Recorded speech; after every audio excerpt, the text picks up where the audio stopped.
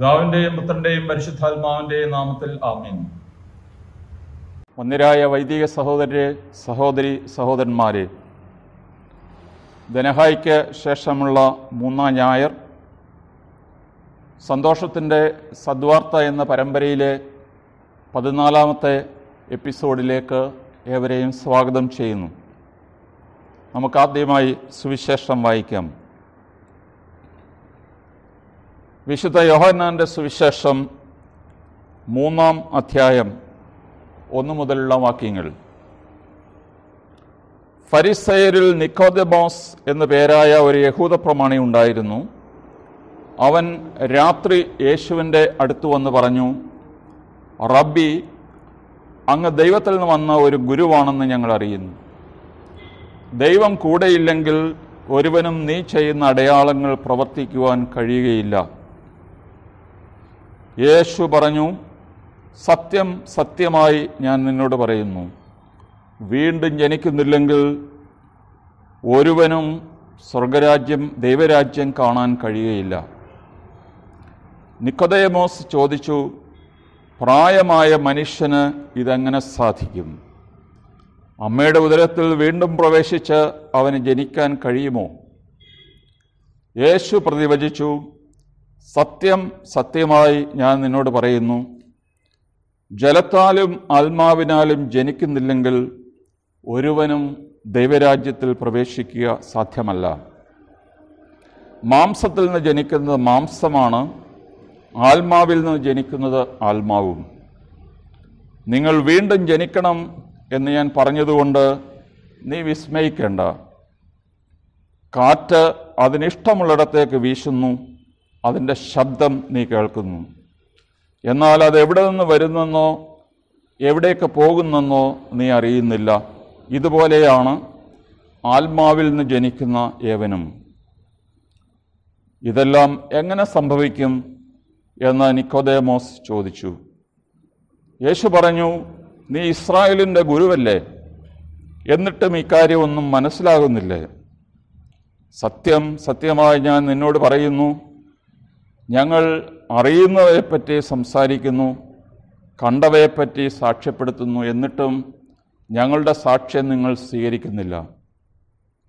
ഭൗമിക കാര്യങ്ങളെപ്പറ്റി ഞാൻ പറഞ്ഞത് നിങ്ങൾ വിശ്വസിക്കുന്നില്ലെങ്കിൽ സ്വർഗീയ കാര്യങ്ങൾ പറഞ്ഞാൽ എങ്ങനെ വിശ്വസിക്കും?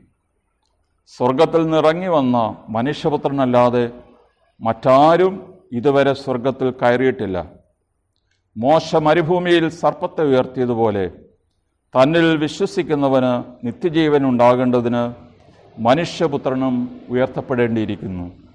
ദൈവമേ സ്തുതനയ്ക്ക് യോഗ്യമാകുന്നു. ബാറയ്ക്കുമോ നമ്മുടെ കർത്താവായ യേശുമിഷിയായുടെ ഇഹലോക ജീവിതകാലത്ത് പല മതപരമായ സംഘടനകൾ പ്രസ്ഥാനങ്ങൾ നിലവിലുണ്ടായിരുന്നു. അങ്ങനെ ഒരു വലിയ പ്രസ്ഥാനമായിരുന്നു ഫാരിസിസ്. വേറൊരു പ്രസ്ഥാനമായിരുന്നു സാഡുസിസ് സദൂക്കായർ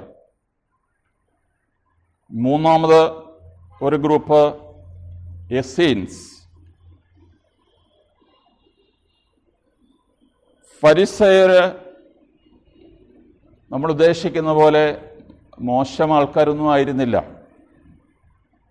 അവർ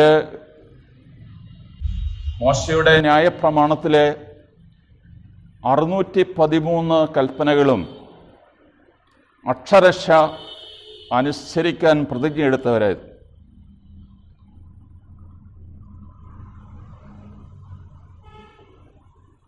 എന്റെ പഠനകാലത്ത് എനിക്ക് കിട്ടിയ ഒരു അസൈൻമെന്റ് ഒരു ഫരിസൈക്ക് ഡോക്യുമെന്റ് ആയിരുന്ന പിർക്കെ അബോത്ത് പിർക്ക് എന്ന് പറഞ്ഞാൽ ചാപ്റ്റേഴ്സ് അബോത്ത് ഫാദേഴ്സ് യഹൂദ റബ്ബിമാരുടെ പാരമ്പര്യമാണ് അതിനകത്ത് പ്രതിപാദിക്കുന്നത്. അതും നമ്മുടെ കർത്താവിന്റെ മലയിലെ പ്രസംഗവുമായിട്ട് താരതമ്യ പഠനം നടത്താനായിരുന്നു അസൈൻമെന്റ് അങ്ങനെ അത് കൂടുതൽ വായിച്ചപ്പോഴാണ് നമുക്ക് ഫരിസേരെക്കുറിച്ചുള്ള നമ്മുടെ ചില മുൻവിധികൾ ശരിയല്ല. നമ്മുടെ കർത്താവിന്റെ ഉപദേശങ്ങളുമായിട്ട് ചേർന്ന് പോകുന്ന ധാരാളം ഉപദേശങ്ങൾ അവർക്കുണ്ടായിരുന്നു. നമുക്ക് അവരെക്കുറിച്ച് മുൻവിധി തോന്നാനുള്ള പ്രധാനപ്പെട്ട കാരണം പ്രത്യേകിച്ച് വിശുദ്ധ മത്തായുടെ സുവിശേഷം ഇരുപത്തി മൂന്നിൽ യേശു ഫരിസേരെ ശപിക്കുന്ന അവർക്ക് നാശം വരും. വൂറ്റ് യു ഫാരിസിസ് എന്ന് പറയുന്ന ചില പ്രയോഗങ്ങളുണ്ട്. അതുകൊണ്ടായിരിക്കും ഒരുപക്ഷെ അവരെക്കുറിച്ച് നമുക്ക് ഇത്രയധികം മുൻവിധികൾ ഉണ്ടായിട്ടുള്ളത്. നല്ല അവരെക്കാൾ മോശം ആൾക്കാരായിരുന്നു സദൂക്കായർ കാരണം അവർക്ക് അവരെ സംബന്ധിച്ച് ഒരു ബോഡിലി റെസുറക്ഷൻ ശരീരം ഉയർക്കും എന്ന് അവർക്ക് വിശ്വാസമില്ലായിരുന്നു.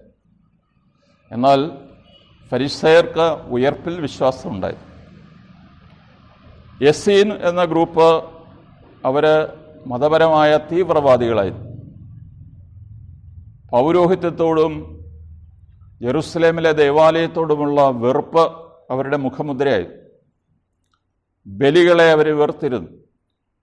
അതുകൊണ്ട് ദൈവം പറയ പരമ്പരാഗതമായി അനുഷ്ഠിച്ചു പോരുന്ന ഈ ദൈവാലയത്തിലെ കർമ്മങ്ങൾ അതിനോടനുബന്ധിച്ചുള്ള ചൂഷണങ്ങൾ ഇവയ്ക്കൊക്കെ അവർ എതിരായിരുന്നതുകൊണ്ട് അവരിതെല്ലാം ഈ ജെറൂസലം പട്ടണവും എല്ലാം വിട്ടുപോയി മരുഭൂമിയിൽ താമസിച്ചിരുന്ന ഒരു ഗ്രൂപ്പാണ്. ഇതുപോലുള്ള ഗ്രൂപ്പുകളുടെ ഇൻട്രാക്ഷനിലാണ് നമ്മുടെ കർത്താവായ യേശു തന്റെ ദൗത്യം നിർവഹിച്ചത്. ഒന്നാമത്തെ ചോദ്യം നിക്കോദേമോസ് ആരായിരുന്നു? വളരെ വ്യക്തമായി പറയുന്നു അയാൾ ഒരു ഫരിസയനായിരുന്നു. ഹീബ്രു ഗ്രീക്ക് ഭാഷയിൽ ആർഹോൺ തോൺ യുദയോൺ. He was a ruler of the Jews എന്നാണ് പറഞ്ഞിരിക്കുന്നത്. ഇത് ഒരു രാജാവിനും ആർഹോൺ എന്ന് പറയാറുണ്ട് പക്ഷേ അദ്ദേഹം രാജപദവിയിലൊന്നും ആയിരുന്നില്ല. സൻഹെദ്രിൻ സംഘത്തിന്റെ സംഘത്തിന്റെ അംഗമായിരുന്നു അദ്ദേഹം. സൻഹദ്രിൻ യഹൂദ സഭയെ സംബന്ധിച്ച് മതപരമായ വിഷയങ്ങളിൽ ഒരു സുപ്രീം കോടതിയായിരുന്നു. അതിനാൽ ഒരു സുപ്രീം കോടതിയിലെ ജഡ്ജിന്റെ പദവിയായിരുന്നു നിക്കോദേമിസിനുണ്ടായിരുന്നു അവന് യഹൂദ നിയമത്തെ സംബന്ധിച്ചും പാരമ്പര്യങ്ങളെ സംബന്ധിച്ച് നല്ല അറിവുള്ള ആളായിരുന്നു അയാൾ ധനികനായിരുന്നു. കാരണം നിക്കോദിമോസ് ഈ യോഹനാന്റെ മൂന്ന് ഒന്ന് മുതൽ പന്ത്രണ്ട് വരെയുള്ള വാക്യങ്ങളിൽ മാത്രമല്ല പിന്നെ യോഹന്നാന്റെ ഏഴാം അധ്യായം അമ്പത് മുതൽ അമ്പത്തിമൂന്ന് വരെയുള്ള വാക്യങ്ങളിലും യോഹന്നാന്റെ പത്തൊമ്പതാം അധ്യായം മുപ്പത്തൊമ്പത് മുതൽ നാൽപ്പത് വരെയുള്ള വാക്യങ്ങളിലും നിക്കോദിമോസിന്റെ പേര് പ്രത്യക്ഷപ്പെടുന്നുണ്ട്. കാരണം കർത്താവിന്റെ അടക്കത്തോട് അനുബന്ധിച്ച് നിക്കോദമോസ് നൂറ് റാത്തൽ സുഗന്ധദ്രവ്യങ്ങളുമായിട്ടാണ് കർത്താവിന്റെ അടക്കത്തിന് വന്നത്. നൂറ് റാത്തൽ സുഗന്ധദ്രവ്യം എന്ന് പറഞ്ഞാൽ വളരെ വലിയ ഒരു ധനികൻ ആയിരുന്നിരിക്കണം എന്ന് നമ്മൾ അനുമാനിക്കുകയാണ്. അപ്പോൾ ഈ മനുഷ്യന്റെ വ്യക്തിത്വത്തിന്റെ പ്രത്യേകതകൾ അയാൾ സമൂഹത്തിൽ നിലയും വിലയും ഉണ്ടായിരുന്നു സമ്പത്തുണ്ടായിരുന്നു നിയമ വിദഗ്ധനായിരുന്നു. ഈ ഒരു കാര്യം പശ്ചാത്തലം മനസ്സിൽ വെച്ചുകൊണ്ട് വേണം ഇവൻ രാത്രിയിൽ കർത്താവിനെ വന്ന് കണ്ടു എന്ന് പറയുമ്പോൾ നമ്മൾ മനസ്സിലാക്കേണ്ടത്. വിശുദ്ധ യോഹനാൻ സുവിശേഷകനെ സംബന്ധിച്ചിടത്തോളം ഇപ്പത്തല പത്തല വിവരണങ്ങൾ വലിയ പ്രാധാന്യമുണ്ട്. ഉദാഹരണം കർത്താവ് അപ്പം മുറിച്ച് യൂദാസ് കറിയത്തേക്ക് കൊടുത്തു.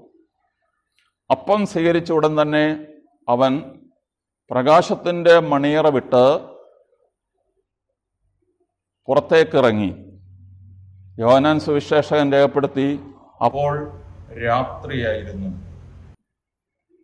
അപ്പോൾ ഈ രാത്രി വെറും ഭൗതികമായ വെളിച്ചത്തിന്റെ കുറവ് എന്നുള്ളത് മാത്രമല്ല അവന്റെ ഉള്ളിൽ രാത്രിയായിരുന്നു എന്നാണ് അതിന്റെ അർത്ഥം. നിക്കോദിമോസിന്റെ ഉള്ളിലും രാത്രിയായിരുന്നു. അവന് പ്രകാശം തേടി നടന്ന ഒരു മനുഷ്യനാണ്. എന്നാൽ മനുഷ്യർ അവനെക്കുറിച്ച് അപവാദം പറയാതിരിക്കാൻ അവൻ രഹസ്യമായിട്ട് യേശുവിന്റെ അടുത്ത് വരുന്നു. ഫരിസയരെ സംബന്ധിച്ച് പറയുമ്പോൾ അവർ അബ്രഹാത്തിന്റെ മക്കളാകുന്നു എന്നുള്ളതിൽ അഭിമാനം കൊള്ളുന്നവരാണ്.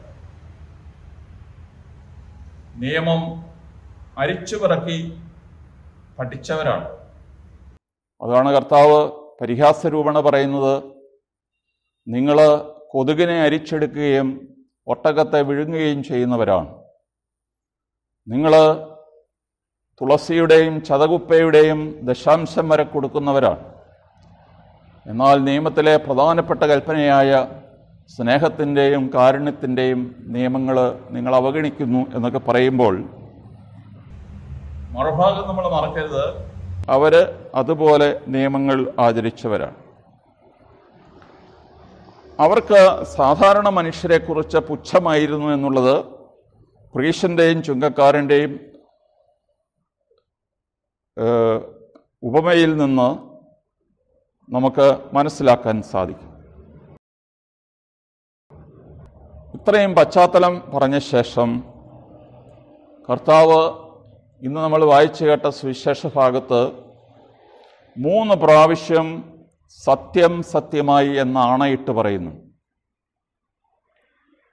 ഒരു വേദഭാഗത്ത് അല്ലെങ്കിൽ ഒരു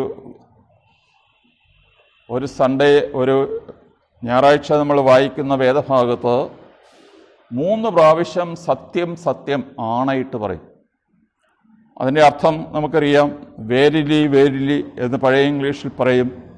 ട്രൂലി ട്രൂലി എന്ന് മോഡേൺ ഇംഗ്ലീഷിൽ പറയും. ഇത്രയധികം ആണയിട്ട് പറയുന്ന കാര്യങ്ങൾ എന്താണ് മനസ്സിലാക്കുക? അതുപോലെ പ്രധാനപ്പെട്ട കാര്യമാണ് പിന്നീട് പറയാൻ പോകുന്നത്. ജലത്താലും ആത്മാവിനാലും ജനിക്കുന്നില്ല എങ്കിൽ ഒരുവനും ദൈവരാജ്യം കാണുകയില്ല. മാംസത്തിൽ നിന്ന് ജനിക്കുന്നത് മാംസമാണ് ആത്മാവിൽ നിന്ന് ജനിക്കുന്നത് ആത്മാവും. കാറ്റ് അതിനിഷ്ടമുള്ളിടത്തേക്ക് വീശുന്നു എന്നൊക്കെ പറയുമ്പോൾ എന്താണ് ഒന്നും മനസ്സിലാകാത്ത രീതിയിൽ മനുഷ്യർ ഇതിനെക്കുറിച്ച് പ്രതികരിക്കാറുണ്ട്. നമ്മൾ പരമ്പരാഗത ക്രിസ്ത്യാനികളാണ്. രണ്ടായിരം വർഷമായിട്ടുള്ള ക്രൈസ്തവ പാരമ്പര്യത്തിൽ നമ്മൾ ഊറ്റം കൊള്ളുന്നു. നമ്മൾ പള്ളിയിൽ പോകുന്നവരാണ് കൂതാശ സ്വീകരിക്കുന്നവരാണ് അതിനെക്കുറിച്ച് ഊറ്റം കൊള്ളുന്നു. നമ്മൾ അനേക സംഘടനകളിലെ മെമ്പേഴ്സാണ് പല നല്ല കാര്യങ്ങളും ചാരിറ്റബിൾ ആക്ടിവിറ്റീസൊക്കെ നമ്മൾ നടത്താറുണ്ട്. പക്ഷേ ഇത് വല്ലതും നമ്മളെ രക്ഷിക്കുമോ? രക്ഷിക്കില്ല എന്നാണ് യേശു പറയുന്നത്. ഒരു വ്യവസ്ഥയുണ്ട്. ഒരുവൻ ജലത്താലും ആത്മാവിനാലും വീണ്ടും ജനിക്കുന്നില്ല എങ്കിൽ അവൻ സ്വർഗരാജ്യത്തിൽ പ്രവേശിക്കുകയില്ല. ഇത് ആണയിട്ട് അടിവരയിട്ട് പറയുന്ന യേശുവിന്റെ കാര്യം പലപ്പോഴും നമ്മൾ വിസ്മരിക്കുകയാണ്. പരമ്പരാഗത ക്രിസ്ത്യാനികൾ പാരമ്പര്യം പറഞ്ഞ് അവർ എല്ലാവരും നല്ല മനുഷ്യർ തന്നെ നല്ല മനുഷ്യരായതുകൊണ്ട് രക്ഷിക്കപ്പെടത്തില്ല എന്ന് യേശു അടിവരയിട്ട് പറയാം ഇവരെല്ലാം ഈ പ്രീശന്മാരെല്ലാം നല്ല മനുഷ്യരായിരുന്നു. അവരാരും മറ്റു മനുഷ്യരെ കൊല്ലുന്നവരോ പിടിച്ചു പറിക്കുന്നവരോ വിചാരം ചെയ്യുന്നവരോ ഒന്നും ആയിരുന്നില്ല. അവരൊക്കെ നല്ല മനുഷ്യരായിരുന്നു. നല്ല മനുഷ്യനായതുകൊണ്ടോ തോമസ് ലിയയുടെ പാരമ്പര്യം പറഞ്ഞതുകൊണ്ടോ ഇവരും നല്ല പാരമ്പര്യം പറയുന്നവരായിരുന്നു. ഞങ്ങൾ അബ്രഹാത്തിന്റെ സന്തതികളാണ്. ഞങ്ങൾ പിശാചിന്റെ സന്തതികളല്ല എന്നവരെടുത്ത് പറയുന്നുണ്ട്. അവരൊക്കെ നല്ല വംശത്തിലും ഒക്കെ പറഞ്ഞ നല്ല അഭിജാത്യമുള്ള മനുഷ്യരായിരുന്നു. യേശു പറയുന്ന കാര്യങ്ങൾ പ്രത്യേകിച്ച് ഈ ദനഹാക്കാലത്ത് നമ്മളൊന്നുകൂടെ ചിന്തിച്ച് മനസ്സിലാക്കേണ്ട ഒരു കാര്യമാണ്. ആരാണെങ്കിലും വിശ്വാസിയാണെങ്കിലും വൈദികനാണെങ്കിലും മെത്രാനാണെങ്കിലും മർപ്പയാണെങ്കിലും ഒരുവൻ വീണ്ടും ജനിക്കുന്നില്ല എങ്കിൽ അവൻ സ്വർഗരാജ്യത്തിൽ പ്രവേശിക്കുകയില്ല. ഇത് സത്യം സത്യമം അന്ന് ആണയിട്ട് യേശു പറയുന്നതിനെക്കുറിച്ച് അത് അങ്ങനെയാകാം ഇങ്ങനെയാകാം എന്ന് നമ്മൾ വ്യാഖ്യാനം കൊടുക്കരുത്. അങ്ങനെ മാത്രമേ സാധ്യമുള്ളൂ. ഇത് നമ്മുടെ മനസ്സിൽ കയറേണ്ട ഒരു കാര്യമാണ്. ഒന്ന് രണ്ട് കോറിന്തി അഞ്ച് പതിനേഴിൽ വിശുദ്ധ പൗലോസ് പറയുന്നു ക്രിസ്തുവിലായിരിക്കുന്നവൻ പുതിയ സൃഷ്ടിയാണ്. പഴയത് കടന്നുപോയി ഇതാ പുതിയത് വന്നു കഴിഞ്ഞു.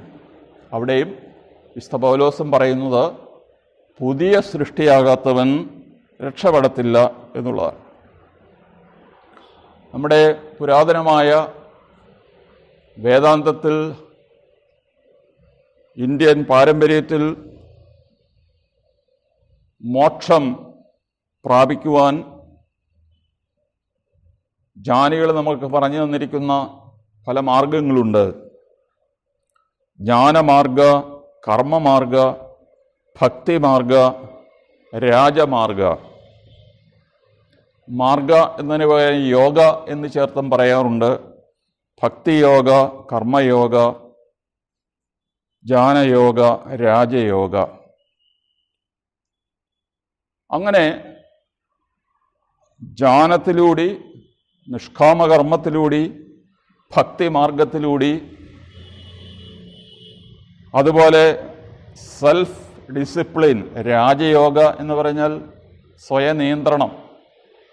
അതിലൂടി ഒരാൾക്ക് മോക്ഷം പ്രാപിക്കാം എന്നുള്ളതാണ്. അങ്ങനെ ഈ മാർഗത്തിലൂടെ ഈ സംസാരമാകുന്ന ഈ ബന്ധനത്തിൽ നിന്ന് മാത്രമേ ഒരാൾ മോചിതനാകുകയുള്ളൂ. മോചിതനാകുന്നതാണ് മോക്ഷം പ്രാപിക്കുന്നത്. ഇത് നമ്മൾ എങ്ങനെ മനസ്സിലാക്കണം? വിശുദ്ധ മത്തായുടെ സുവിശേഷം ഏഴാം അധ്യായം പതിനേഴും പതിനെട്ടും വാക്യങ്ങൾ നല്ല വൃക്ഷം നല്ല ഫലവും ചീത്ത വൃക്ഷം ചീത്ത ഫലങ്ങളും നൽകുന്നു. നല്ല വൃക്ഷത്തിന് ചീത്ത ഫലങ്ങളോ ചീത്ത വൃക്ഷത്തിന് നല്ല ഫലങ്ങളോ പുറപ്പെടുവിക്കാൻ സാധിക്കുകയില്ല. ഒരു ചീത്ത മരത്തിന് നന്നായിട്ട് ചുവട് കിളച്ച് ഇഷ്ടം പോലെ വളമിട്ട് ഇഷ്ടം പോലെ വെള്ളം കൊടുത്താൽ അതിൽ നല്ല ഫലങ്ങൾ കായ്ക്കുമോ കായ്ക്കത്തില്ല. ചീത്ത ഫലം കുറച്ച് വലുതാകും എന്ന് മാത്രമേ ഉള്ളൂ. അതിനാൽ ഇവിടെ മരം നന്നാകാതെ ഫലം നന്നാകുകയില്ല ഇത് കർത്താവ് പറഞ്ഞ ആ യുക്തി ഏത് കുഞ്ഞിനും മനസ്സിലാകുന്ന ഒരു യുക്തിയാണ്. സ്വന ഇവിടെ നീ ഒരു പുതിയ സൃഷ്ടിയാകണം എന്ന് പറയുമ്പോൾ നമ്മുടെ സ്വഭാവത്തിൽ വരുന്ന ഒരു റീടച്ച് നമ്മൾ തന്നെ വരുത്തുന്ന കുറേ അവസ്ഥാന്തരങ്ങളെ അല്ല ഇവിടെ ഉദ്ദേശിക്കുന്നത്. ഉദാഹരണം മദ്യപാനി മദ്യപാനം നിർത്തുന്നു. സിഗരറ്റ് വലിക്കുന്നവൻ സിഗരറ്റ് വലി നിർത്തുന്നു. അതുകൊണ്ട് അവനൊരു പുതിയ സൃഷ്ടിയാകുമോ ഇല്ല. അതവന്റെ സ്വഭാവത്തിൽ വരുന്ന നേരിയ വ്യത്യാസങ്ങൾ എന്ന് മാത്രമേ ഉള്ളൂ. ഒന്ന് യോഹന്നാൻ മൂന്ന് ഒമ്പതിൽ ഇങ്ങനെ നാം വായിക്കുന്നു. ദൈവത്തിൽ നിന്ന് ജനിച്ച ഒരുവനും പാപം ചെയ്യുന്നില്ല. കാരണം ദൈവചൈതന്യം അവനിൽ വസിക്കുന്നു. അവൻ ദൈവത്തിൽ നിന്ന് ജനിച്ചവനായതുകൊണ്ട് അവന് പാപം ചെയ്യാൻ സാധ്യമല്ല. ദൈവത്തിൽ നിന്ന് ജനിച്ചവന് പാപം ചെയ്യാൻ സാധ്യമല്ല. നമ്മൾ വിചാരിച്ചിരിക്കുന്നത് നമ്മൾ പാപം ചെയ്യുന്നത് കൊണ്ട് നമ്മൾ പാപികളാകുന്നു എന്നാണ്. നേരെ തിരിച്ചാണ്. നീ പാപിയായതുകൊണ്ടാണ് നീ പാപം ചെയ്യുന്നത്. ദൈവത്തിൽ നിന്ന് ജനിച്ചവനായതുകൊണ്ട് അവന് പാപം ചെയ്യാൻ സാധിക്കുകയില്ല. ഇതാണ് ഇവിടുത്തെ കർത്താവായ യേശുമിഷ്യ ആണയിട്ട് പറയുന്ന പ്രബോധനം. വീണ്ടും ജനിക്കുക. അത് വലിയ വിഷയമാണ് ബിബ്ലിക്കലായിട്ട്.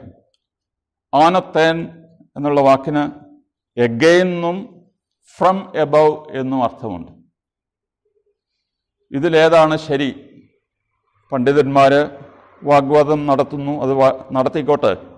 പക്ഷേ നമ്മൾ വീണ്ടും ജനിക്കുന്നു എന്നുള്ളതും മുകളിൽ നിന്ന് ജനിക്കുന്നു എന്ന് പറയുമ്പോൾ ദൈവത്തിൽ നിന്ന് ജനിക്കുന്നു എന്ന് പറയുന്നതും രണ്ടും വാസ്തവത്തിൽ ഒന്ന് തന്നെയാണ്. അനശ്വരമായ ബീജത്തിൽ നിന്നാണ് സജീവവും സനാതനവുമായ ദൈവവചനത്തിൽ നിന്നാണ് നിങ്ങൾ ജനിച്ചിരിക്കുന്നത് എന്ന് പത്രോസ് ഒന്ന് ഇരുപത്തി മൂന്നിൽ പറയുന്നു. നമ്മൾ ഇവിടെ ഉദ്ദേശിക്കുന്നത് ഇതൊരു സ്പിരിച്വൽ റീബർത്താണ് അത് പാപമോചനത്തിനുള്ള അനുതാപത്തിന്റെ മാമോദിസ എന്ന് മർക്കോസ് ഒന്ന് പതിനാലിൽ പറഞ്ഞിരിക്കുന്നു. മർക്കോസ് ഒന്നെട്ടിലാകട്ടെ അവൻ പരിശുദ്ധാത്മാവിനാൽ നിങ്ങൾക്ക് സ്നാനം നൽകും എന്ന് പറഞ്ഞിരിക്കുന്നു. അതിനാൽ പാപമോചനം പരിശുദ്ധാത്മ പ്രവർത്തനവും ആണ് ഒരു മനുഷ്യനെ പുതിയ വ്യക്തിയാക്കി മാറ്റുന്നത്. മരം നന്നാകുമ്പോൾ ഫലവും നന്നാകും. ഗലാത്യർ ലേഖനം അഞ്ചാം അധ്യായം ഇരുപത്തിരണ്ടിൽ പൗലോസ് പറയുന്നു ആത്മാവിന്റെ ഫലങ്ങൾ. ദയവായിട്ട് ഓർത്തിരിക്കുക ഫലങ്ങൾ എന്ന് ഗ്രീക്ക് ഭാഷയിൽ മൂലത്തിൽ പറഞ്ഞിട്ടില്ല ഫലം എന്ന് മാത്രമേ പറഞ്ഞിട്ടുള്ളൂ. ആത്മാവിന്റെ ഫലം സ്നേഹം ആനന്ദം സമാധാനം ക്ഷമ ദയ നന്മ വിശ്വസ്തത സൗമ്യത ആത്മസംയമനം. അങ്ങനെ ഏഴ് ഫലങ്ങൾ എന്ന് നമ്മൾ മലയാളത്തിൽ പറയുമെങ്കിലും ഒറ്റ ഫലമാണ്.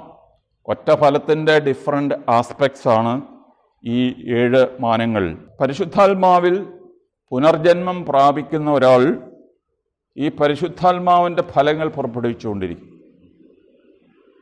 യേശു പറഞ്ഞു കാറ്റ് എവിടെ നിന്ന് വരുന്നു എന്ന് നീ അറിയുന്നില്ല എവിടേക്ക് പോകുന്നു അറിയുന്നില്ല. എന്നാൽ വൃക്ഷത്തലപ്പിൽ നോക്കിയാൽ നിങ്ങൾ ഏത് വശത്തേക്ക് വൃക്ഷത്തിന്റെ തലപ്പ് തിരിഞ്ഞിരിക്കുന്നുവോ ആ വശത്തേക്കാണ് കാറ്റെന്ന് നിങ്ങൾക്ക് മനസ്സിലാകും. കുളിർമ അനുഭവപ്പെടുന്നെങ്കിൽ നിങ്ങൾക്ക് കാറ്റ് ഇവിടെ ഉണ്ട് എന്ന് മനസ്സിലാകും. അതിനാൽ ഇത് മനസ്സിലാകാൻ പ്രയാസമില്ല. നിങ്ങൾ കാണുന്നില്ലെങ്കിലും ആത്മാവിന്റെ ഫലങ്ങൾ അത് വളരെ വ്യക്തമാണ്. എപ്പോഴാണ് ഒരാൾ ഒരു പൂർണ പുതിയ വ്യക്തിയാകുന്നത്? ഗലാത്തി രണ്ട് ഇരുപതിൽ വിശുദ്ധ പൗലോസ് പറഞ്ഞ് അവസാനിപ്പിച്ചു. ഞാൻ ക്രിസ്തുവിനോടുകൂടി ക്രൂശിതനായിരിക്കുന്നു. ഇനിമേൽ ഞാനല്ല ജീവിക്കുന്നത് ക്രിസ്തുവാണ് എന്നിൽ ജീവിക്കുന്നത്.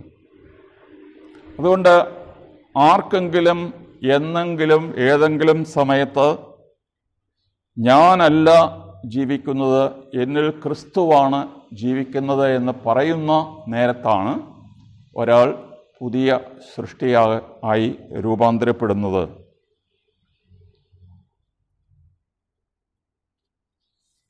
ഒരിക്കൽ അമേരിക്കയിൽ ന്യൂയോർക്കിലെ ഒരു തെരുവിലൂടെ നടന്നു പോകുമ്പോൾ ഒരാളൊരു മാസിയെ പിടിച്ച് എന്റെ അടുത്ത് വന്നു. എനിക്ക് വന്ന അയാൾ ഒരു രക്ഷാസൈന്യക്കാരനാണ് എന്ന് എനിക്ക് തോന്നി. എന്നോട് ചോദിച്ചു are you a B A നേരത്തെ ഈ ചോദ്യം ഞാൻ കേട്ടിട്ടുള്ളത് കൊണ്ട് എനിക്ക് ഉടനെ മനസ്സിലായി. ബി എ എന്ന് പറഞ്ഞാൽ അറിയ ബോൺ അഗെയിൻ ക്രിസ്ത്യൻ എന്നാണ് ചോദിച്ചത്. ഞാൻ തമാശ രൂപത്തിൽ പറഞ്ഞു I am an M A എനിക്ക് എം എ എന്നൊരു ഡിഗ്രി ഉള്ളതുകൊണ്ട് അത് ഞാൻ തമാശ രൂപത്തിൽ അങ്ങോട്ട് പറഞ്ഞു. പക്ഷേ ഈ ചോദ്യം ആർ യു ബോൺ അഗെയിൻ എന്നുള്ള ചോദ്യം കത്തോലിക്കരെ ചോദിക്കാറില്ല. നമ്മളതിനെക്കുറിച്ച് ചിന്തിക്കാറില്ല പക്ഷേ പല പ്രോട്ടസ്റ്റന്റ് ഗ്രൂപ്പുകളും ഇതിന് വലിയ പ്രാധാന്യം കൊടുക്കുന്നുണ്ട്. അതുകൊണ്ട് ഈ- ചിന്ത നമ്മൾ അവസാനിപ്പിക്കുകയാണ്. കർത്താവിന്റെ മാമോദിസ കാലത്ത് ദനഹക്കാലത്ത് നമ്മൾ ജീവിക്കുകയാണ്. കർത്താവ് മാമോദിസ സ്വീകരിച്ചപ്പോൾ പിതാവ് നൽകിയ സാക്ഷ്യം നമുക്കറിയാം. ഇവൻ എന്റെ പ്രിയപുത്രൻ. ഇവനിൽ ഞാൻ പ്രസാദിച്ചിരിക്കുന്നു. കർത്താവ് പുത്രനിൽ നമ്മളെ പുത്രരാക്കിയവരാണ്. അല്ലെങ്കിൽ പുത്രനിലൂടെ നമ്മളെ അഡോപ്റ്റഡ് സൺസ് ആൻഡ് ഡോക്ടർ ഡോട്ടേഴ്സായിട്ട് തിരഞ്ഞെടുത്തതാണ്. പുത്രനിൽ പുത്രരായവർ ആയവരിലും പിതാവ് പ്രസാദിക്കണം. പിതാവിന്റെ ഒരു സർട്ടിഫിക്കേഷൻ ആവശ്യമാണ്. നിന്നിൽ ഞാൻ പ്രസാദിച്ചിരിക്കും. എപ്പോഴാണ് പിതാവ് നമ്മൾ പ്രസാദിക്കുക? നമ്മൾ യേശുവിന്റെ രൂപത്തിൽ ആകുമ്പോൾ. നിങ്ങളുടെ വലിയ ശ്രദ്ധയ്ക്ക് ഞാൻ നന്ദി പറയുന്നു. നമുക്ക് പ്രത്യേകിച്ച് ഈ ദനഹക്കാലത്ത് സഭയുടെ പ്രേക്ഷിത പ്രവർത്തനങ്ങൾക്കായി പ്രത്യേകമായി പ്രാർത്ഥിക്കാം.